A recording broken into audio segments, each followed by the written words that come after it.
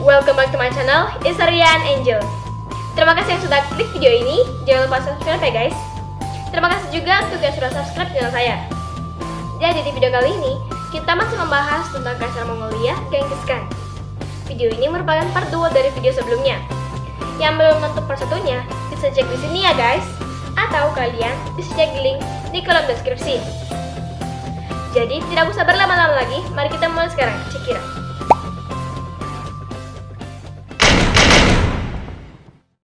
Pada suatu hari, Temujin ini terlibat perkelahian dengan Bekter, saudara tirinya, dan kemudian membunuhnya. Akhirnya, Borte dan beberapa anggota keluarga lainnya diculik oleh suku Merkit. Mereka membantai semua laki-laki yang merupakan warga suku Merkit yang tidak sempat melarikan diri. Jamuka pun melakukan pertunjukan balas dendam yang paling kejam pada saat itu. Pertama, dia memenggal kepala dari salah satu pemimpin yang ditangkapnya. Dan kemudian, dia merebus 70 tawanan laki-laki muda yang ditangkapnya secara hidup-hidup dalam kuali. Saya tidak terima seorang budak menjadi keluargaku. Lebih baik kulempar anakku ini ke dalam api daripada dia harus menikahi anak. Bagaimana reaksi Temujin setelah dia mendapatkan pesan dari Ongkan? Ditunggu kelanjutannya di part 2. Ternyata guys, Ongkan ini hanya menganggap Temujin sebagai bawahan saja. Dia baik kepada Temujin hanya untuk memanfaatkannya.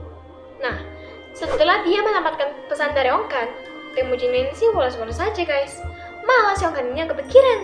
Setelah Ongkan menolak lamaran dari Temujin, dia ini langsung menyesalinya. Nah, dia ini takut kalau misalnya Temujin akan marah dan menyatakan perang terhadap dia.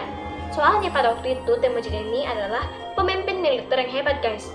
Karena dia ini sering menang dalam perang dan juga karena prajuritnya sudah lumayan banyak guys. Segeralah si Ongkan mengirim pesan kepada Temujin bahwa dia telah berubah pikiran dan akan menerima lamaran Temujin. Kemudian, dia pun menentukan tanggal dan mengundang Temujin untuk datang bersama keluarganya untuk melaksanakan pernikahan anak-anak mereka. Kemudian, Temujin yang sangat percaya kepada ayah angkatnya itu menerima undangan itu. Nah, pada tanggal yang telah ditentukan, pergilah Temujin bersama keluarganya beserta sebagian kecil pasukannya ke tempat Ongkan. Tapi guys, di pertengahan jalan, Temujin kemudian tahu kalau undangan tersebut hanyalah tipu daya ayah angkatnya untuk membunuh Temujin beserta keluarganya. Temujin lalu memerintahkan pasukannya untuk menyebar dengan cepat ke segala arah. Sedangkan dia sendiri dan keluarganya beserta beberapa pasukannya melarikan diri dengan cepat ke arah timur. Setelah melarikan diri dan bersembunyi di Danau Baljuna, Temujin pun kemudian menyusun rencana untuk melakukan serangan balik. Dia lalu mengirim berita kepada seluruh pasukannya untuk menyerang Ongkan dan suku Keriitnya. Di sisi lain, Ongkan yang tidak tahu tentang rencana Temujin sedang berpesta dalam tendanya. Dia menertawakan pasukan Temujin yang lari kocar-kacir pada saat melarikan diri guys. Beberapa hari kemudian, Temujin pun akhirnya sampai ke perkemahan suku Kerit. Dia melakukan serangan dadakan kepada suku Kerit yang sedang berpesta. Meskipun begitu, prajurit suku Kerit masih sempat melakukan perlawanan. Pertempuran berlangsung dengan sengit selama tiga hari, dan pada hari ketiga, pasukan Temujin berhasil memenangkan pertempuran tersebut. Mengingat jasa ayah angkatnya yang pernah membantunya dulu, Temujin pun membiarkan Ongkan dan keluarganya untuk melarikan diri. Saat melarikan diri, anak laki-laki dari Ongkan ini meninggal dunia karena kehausan guys. Ongkan sendiri mencari perlindungan ke suku Naiman. Tetapi, menurut cerita yang beredar secara turun-temurun, pada saat Ongkan sampai di perbatasan Naiman, dia ini sempat terlibat pertengkaran dengan prajurit yang menjaga perbatasan. Dan akhirnya, prajurit tersebut pun membunuh Ongkan dan memenggal kepalanya. Setelah menaklukkan Kerit, Temujin menargetkan suku Naiman. Tapi tidak mudah untuk mengalahkan suku Naiman, karena pada waktu itu, prajurit Temujin kalah jumlah. Tapi Temujin tidak patah semangat. Untuk mengalahkan suku Naiman, dia menggunakan sedikit tipu muslihat dan taktik perangnya yang handal. Dan pada akhirnya, dia dan pasukannya yang sedikit itu berhasil mengalahkan Naiman. Jamuka yang pada saat itu berada di Naiman kemudian melarikan diri ke dalam hutan bersama dengan beberapa pasukannya. Pada tahun 1205, setahun setelah Temujin mengalahkan Naiman, pasukan Jamuka yang telah lelah hidup dalam pelarian menangkap Jamuka dan menyerahkannya kepada Temujin. Temujin sangat marah dengan aksi kedua orang itu. Alih-alih memberi hadiah, Temujin malah mengeksekusi mereka di depan Jamuka. Temujin ini sangat menghargai kesetiaan guys. Dia ini tidak suka dengan pengkhianatan. Setelah mengeksekusi prajurit Jamuka, Temujin dan Jamuka pun terlibat percakapan yang cukup panjang. Temujin mengajak Jamuka untuk kembali hidup bersama dengannya. Jamuka merasa sangat terharu, tapi dia juga merasa sangat malu karena telah mengkhianati Temujin. Dia pun meminta Temujin untuk mengeksekusi dirinya. Maka, sesuai permintaan Jamuka, Temujin pun menyuruh pengikutnya untuk mengeksekusi Jamuka dan kemudian menguburkannya. Karena telah menaklukkan dan meleburkan tiga suku besar yaitu Tatar, Keret, dan Aiman, maka Temujin pun menjadi penguasa Mongol yang tak terbantahkan lagi. Setelah menyatukan semua suku, klan, dan keluarga, Temujin pun menghapus gelar bangsawan. Jadi pada saat itu, tidak ada lagi keturunan darah murni atau bangsawan dan keturunan darah campuran, semua derajatnya sama. Satu tahun kemudian, Temujin pun mengadakan rapat suku untuk mengukuhkan posisinya sebagai pemimpin. Dia menolak diberikan gelar Burhan dan lebih memilih gelar sendiri yaitu Genghis Khan atau yang kita kenal dengan nama Genghis Khan. Dengan ini, dia pun menjadi kaisar pertama di Mongolia. Setelah menjadi kaisar, dia pun mengeluarkan undang-undang baru untuk menjaga perdamaian antar suku, yaitu dia melarang adanya penculikan terhadap wanita dan melarang adanya perbudakan. Dia juga memberikan kebebasan beragama bagi semua penduduknya. Dan pada saat itu, kehidupan penduduk di Mongol pun menjadi damai. Pada tahun 1210, sebuah rombongan dari dinasti Jurchenjin tiba di perkemahan Mongol. Mereka menuntut agar Genghis Khan ini tunduk pada raja baru mereka. Tapi Genghis Khan menolak untuk tunduk pada dinasti Jurchenjin.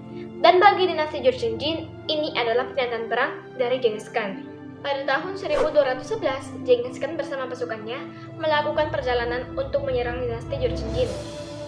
Ini adalah awal peperangan Genghis Khan di luar Mongol. Dinasti Jurchenjin dengan percaya diri telah menunggu kedatangan pasukan Mongol. Mereka menganggap kalau pasukan Mongol tidak akan pernah menang melawan pasukan Jurchen yang memang pada waktu itu jumlahnya lebih banyak daripada pasukan Mongol. Bahkan, Raja Jurchen pun berkata, Kerajaan kami adalah lautan, Sedangkan kerajaan Mongol adalah segelintir pasir. Tidak mungkin kami takut. Uh. Tapi, bukan Genghis Khan namanya kalau dia takut. Meskipun dia tahu kalau pasukannya kalah jumlah, dia tetap maju untuk menyerang Jurchenjin. Genghis Khan memiliki pasukan yang hebat-hebat karena mereka ini sudah dilatih untuk berperang sedari kecil. Para pasukannya juga dapat bertahan hidup dalam situasi dan kondisi apa pun. Setelah melewati peperangan yang sengit selama tiga tahun, akhirnya pada tahun 1211, pasukan Genghis Khan pun berhasil mengepung kota pertahanan terakhir dari dinasti Jurchenjin di Chengdu atau yang sekarang kita kenal dengan nama Beijing. Raja Jurchen pun akhirnya tunduk pada Genghis Khan dan mengakui Genghis Khan sebagai kaisar tertinggi mereka. Tapi, baru saja sampai di Mongol, Genghis Khan ini sudah mendapatkan kabar bahwa Raja Jurchen ini mengingkari janjinya untuk tunduk pada Genghis Khan. Dia kemudian memindahkan ibu kotanya dan seluruh pejabat dan pendukungnya ke daerah Kaifeng yang berada di selatan Cina. Akhirnya, Genghis Khan pun kembali ke Jurchen dan membantai semua pengikut raja terdahulu yang masih melawan kepadanya. Menurut salah satu sumber catatan sejarah, pada waktu itu, tulang-tulang orang-orang yang dibantai oleh Genghis Khan menumpuk setinggi gunung dan kota dipenuhi oleh mayat-mayat yang telah membusuk. Bahkan, sebanyak kurang lebih 60.000 gadis Cina menjatuhkan diri dari dinding pertahanan kota daripada harus jatuh ke tangan tentara Mongol. Setelah itu, Genghis Khan dan pasukan pun pulang dengan membawa harta rampasan perang yang sangat banyak. Dengan harta itu, suku Mongol pun hidup makmur dan berkecukupan. Setelah dia memiliki banyak harta dan kaya raya, Genghis Khan pun membangun hubungan dagang dengan dinasti-dinasti lain. Salah satunya adalah dinasti Khwarezmia. Pada akhir 1217, Genghis Khan mengirim tiga duta besar dengan membawa hadiah untuk meminta agar supaya rakyat Mongol dapat berdagang dengan aman. Ketika para utusan tiba di Otrar, mereka diterima oleh gubernur provinsi tersebut, Inalchuk. Pada saat itu, Inalchuk ini bergelar Gair Khan. Tapi, kepala utusan yang tidak lain adalah sahabat lama Inalchuk ini, menyapanya dengan memanggil namanya saja. Inalchuk menjadi jengkel dan malu. Dengan segera, ia memerintahkan untuk menangkap semua utusan Genghis Khan dan meminta barang-barang mereka. Dan kemudian, ia pun membunuh mereka. Tapi, sebelum hukuman dijatuhkan, salah seorang utusan berhasil melarikan diri dan menemui Genghis Khan. Mendengar apa yang terjadi, Genghis pun mengirim utusan lainnya untuk meminta kepada Sultan Khwarizmia untuk menghukum pejabat setempat atas tindakan curabohnya itu. Namun, bukannya merespon dengan baik, Sultan Khwarizmiyah malah membunuh beberapa utusan dan memutilasi wajah mereka kemudian mengirim mereka kembali kepada Genghis Khan. Melihat hal itu, Genghis Khan menjadi sangat marah. Dia yang selama ini telah hidup dengan damai, tersulut lagi emosinya untuk berperang. Setelah empat tahun berperang, Genghis Khan pun akhirnya dapat mengalahkan Khwarizmiyah dan beberapa kota lainnya yang ada di Asia Tengah. Setelah dia kalah, Sultan Khwarizmiyah pun melarikan diri, tapi akhirnya dia terbaring, terlantar, dan meninggal di sebuah pulau kecil di Laut Kaspia. Tapi guys, ada beberapa sejarawan yang menolak pendapat kalau penyerangan Genghis Khan terhadap Khwarezmia hanya gara-gara utusan pedagang Mongol yang dibunuh. Menurut mereka, Genghis Khan ini memang berambisi untuk menguasai dunia. Menurut kalian gimana guys? Silahkan komen bawah. Setelah mengalahkan Khwarezmia, Genghis Khan dan pasukannya terus melanjutkan peperangan ke kota-kota di sekitarnya. Mereka membantai orang-orang yang melawan, membunuh para bangsawan dan keluarganya, menjarah, dan membakar desa-desa. Kemenangan demi kemenangan terus diraih oleh Genghis Khan. Di lain sisi, ternyata ada seorang anak dari Sultan Khwarizmiyah yang selamat dan berhasil melarikan diri. Dia adalah Sultan Jalal ad-Din Mingburnu. Dia melarikan diri sampai ke kota Gazna. Kota Gazna adalah kota yang pernah dijanjikan oleh ayahnya akan diberikan kepadanya suatu saat nanti. Sesampainya dia di sana, dia ini disambut hangat, dan segera dia membangun kekuatannya. Saat itu, dia ini berhasil mengumpulkan 60.000 pasukan, dan dengan pasukannya ini, dia berhasil mengalahkan pasukan Mongol beberapa kali. Jadi pada saat itu, pasukan Mongol ini terbagi-bagi menjadi beberapa bagian.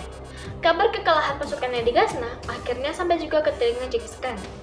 Genghis Khan pun segera menyelesaikan perangnya di Talokan atau yang sekarang kita kenal dengan Afghanistan.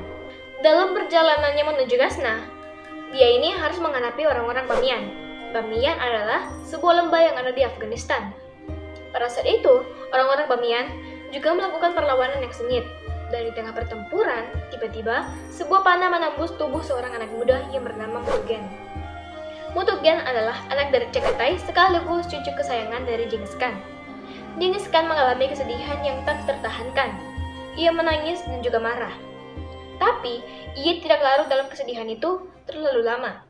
Ia kemudian mengubah kesedihan yang menyakitkan itu menjadi amarah yang besar. Dan kemudian, Genghis Khan dan pasukannya pun mengamuk. Mereka segera merebut kota Bamiyan dan melakukan pemusnahan total. Genghis Khan memberikan perintah untuk membunuh semua makhluk hidup yang ada di sana, baik dari manusia hingga hewan. Tidak ada tawanan perang. Bahkan, anak dalam rahim ibunya pun tidak diampuninya. Jadi sekedar itu saja guys. Jadi selama dia ini berperang, dia ini hanya membunuh warga laki-laki dan prajurit yang melawan kepadanya. Sedangkan perempuan dan anak-anak dijadikannya budak. Hewan-hewan dan benda-benda yang berharga dijadikannya harta rampasan perang. Setelah kota Bamiyan diratakan, Genghis Khan pun memerintahkan untuk selanjutnya tidak ada makhluk hidup yang boleh tinggal di sana. Dan kemudian Genghis Khan pun menamai kota tersebut Mobalik, yang mana dalam bahasa Persia artinya adalah kota terkutuk. Dan memang untuk jangka waktu yang sangat lama, tidak ada seorang pun yang tinggal di sana. Dari Bamiyan, Genghis Khan dan pasukan besarnya menuju Gazna. Ketika mendengar Genghis Khan sudah mendekat, Sultan Jalal merasa khawatir karena banyak pasukannya yang terluka akibat pertempuran sebelumnya. Dan akhirnya, dia pun memutuskan untuk melarikan diri ke arah barat Laut India. Ketika Genghis Khan memulai perjalanan, dia ini sudah tertinggal 15 hari. Dan akhirnya, Genghis Khan pun memerintahkan untuk meninggalkan semua barang bawaan dan melaju dengan kecepatan tinggi. Perjalanan ini adalah salah satu perjalanan terberat bagi para pasukan Mongol, karena mereka ini hanya diperkenankan untuk berhenti dan makan per dua hari sekali. Dengan kecepatan yang luar biasa, Genghis Khan pun melewati Gazna dan berhasil menyusul Sultan Jalal di tepi sungai Indus pada akhir September 1221. Genghis Khan tiba pada saat matahari terbit, dan pada saat itu Sultan Jalal sedang mengatur pasukannya untuk menyeberangi sungai Indus. Pasukan Mongol kemudian langsung mengepung pasukan Jalal. Pasukan Jalal tersudut dan tidak memiliki pilihan lain selain bertempur. Dan untuk mengobarkan semangat juang para pasukannya, Jalal ini menghancurkan semua perahunya, sehingga mau tidak mau mereka ini mesti bertarung atau mati, karena tidak ada lagi pilihan lain untuk melarikan diri. Pada saat itu, pasukan Jalal kalah jumlah, dan untuk pertama kalinya di karir militernya, Genghis Khan ini memiliki pasukan yang lebih banyak dibandingkan musuhnya. Pertempuran sengit pun berlangsung hingga sore hari. Tapi tetap saja, Jalal tidak dapat memenangkan pertempuran ini. Jalal dan pasukannya yang sedikit pun nekat untuk menembus pasukan Mongol. Jalal bersama kudanya melompat ke bawah, terjun sedalam 20 meter di atas tebing ke sungai Indus. Melihat hal itu, Genghis Khan tidak melakukan apa-apa. Dia pun memberikan pengampunan pada Jalal dengan membiarkannya melewati sungai Indus dengan selamat. Tetapi, bagi para pasukannya mengikuti jejak Jalal, mereka semua tidak diberi ampun. Mereka pun dihujani tembakan panah.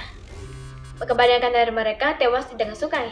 Dan pada saat itu, sungai Indus berubah menjadi merah karena darah. Bagi para pasukan yang tidak tenggelam di sungai, mereka dibunuh dengan pedang. Jalal dan 4.000 pasukannya berhasil menyeberangi sungai. Setelah peristiwa tersebut, Jalal tidak pernah lagi menginjak tanah Khwarezmia.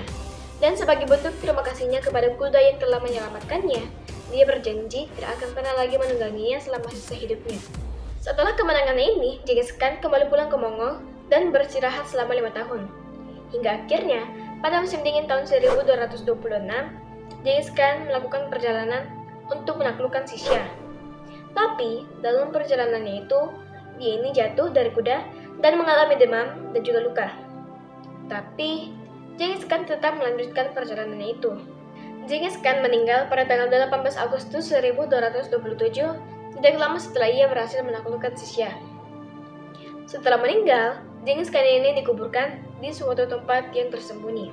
Jasadnya dibawa oleh seribu pasukan berkuda, dan setiap orang yang mereka jumpai sepanjang perjalanan menuju pemakaman Genghis Khan dibunuh dengan tujuan untuk merahasiakan tempat pemakaman Genghis Khan. Dan setelah dikuburkan, tempat itu tidak diberi tanda ataupun batu nisan sesuai dengan permintaan terakhir dari Genghis Khan. Dan tanahnya diinjak-injak oleh seribu kuda untuk mengaburkan lokasi pastinya. Dan hingga kini, lokasi pemakaman Genghis Khan masih menjadi misteri. Oh iya guys, siapa ya yang jadi penerus Genghis Khan? Jadi sebelum meninggal, Genghis Khan ini sudah menunjuk Ogede Khan, anak ketiga yang dari Borte untuk menjadi penerusnya. Meskipun Genghis Khan ini memiliki banyak istri dan anak, tapi menurut adat, anak dari istri pertamanya lah yang dapat menggantikan posisinya. Mengapa dia menunjuk anak ketiga dan bukan anak pertama dan anak kedua? Jadi, dia menunjuk Ogede untuk meneruskannya karena dia ini memiliki kalian dalam bernegosiasi dan sifatnya yang tidak sombong. Terus, alasan yang kedua adalah untuk menjaga perdamaian antara anak pertamanya dan anak keduanya yang terus berebut ingin menjadi penerus ayahnya. Terus, dia tidak mungkin memilih anak pertamanya karena banyak orang yang tidak setuju. Sebab, asal-usul pertamanya ini masih selalu dipertanyakan oleh orang-orang. Apakah dia betul anak Genghis Khan atau bukan? Oke okay guys, sekian dulu cerita saya kali ini. Kalau ada salah-salah kata, mohon dimaafkan, boleh diperbaiki di kolom komentar. Dan kalau misalnya ada yang tidak saya sebutkan, boleh banget untuk kalian tambahkan di kolom komentar guys. Kalau kalian suka dengan video ini, klik like dan di share. Klik subscribe dan nyalakan notifikasinya agar kalian tahu informasi video terbaru dari saya. Untuk ide video berikutnya, kalian bisa komen di bawah. Terima kasih sudah nonton video saya. Bye-bye!